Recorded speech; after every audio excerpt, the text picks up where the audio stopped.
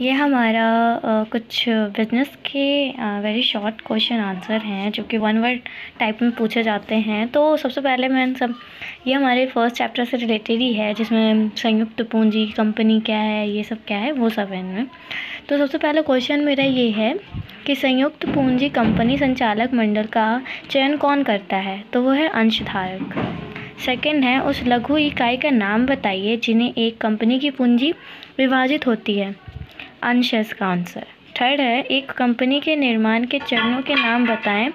First है परिवर्तन second सम्मेलन थर्ड पूंजी अभिदान चरण और फोर्थ है व्यवस्था का प्रारंभ.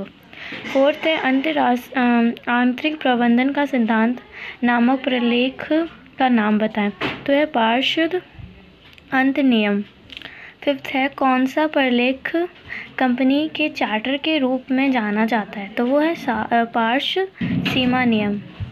सेकेंड है हमारा सिक्स्थ है हमारा, उस लेखक का नाम बताएँ जो कंपनी के अंशों तथा ऋण पत्रों के अभिनंदन, अभिदान हेतु जन संधारण जन संधारण को आमंत्रित करता है। इसका आंसर है प्रविवरण।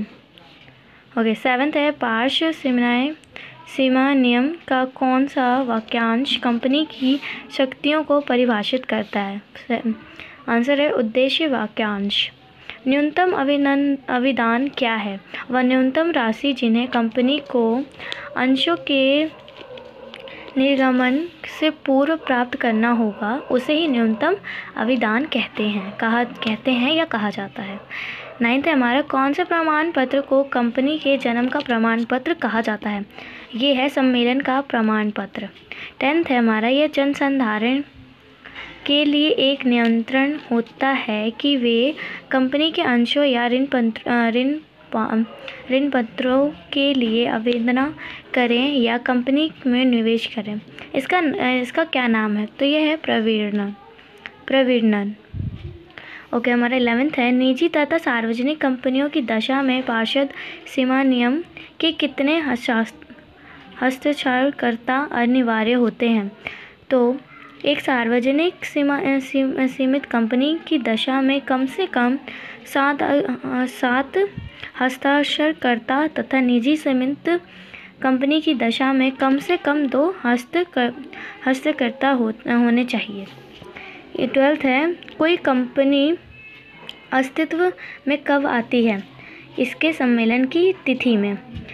थर्टीन है हमारा।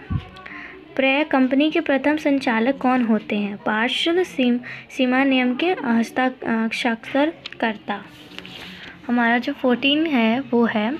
उस लेखक का नाम बताएँ जो एक सार्वजनिक कंपनी का अपना व्यवसाय प्रारंभ करने के लिए अधिकृत करता है व्यापार प्रारंभ करने का प्रमाण पत्र। फिफ्टीन है।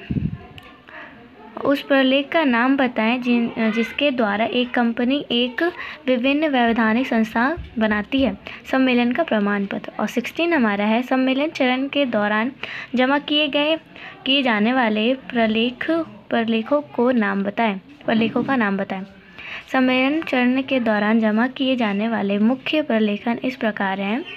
फ़र्स्ट है पार्षद। पार्षद सीमा नियम सेकेंड हमारा पार्ष अंतर नियम अधिकृत पूंजी का विवरण।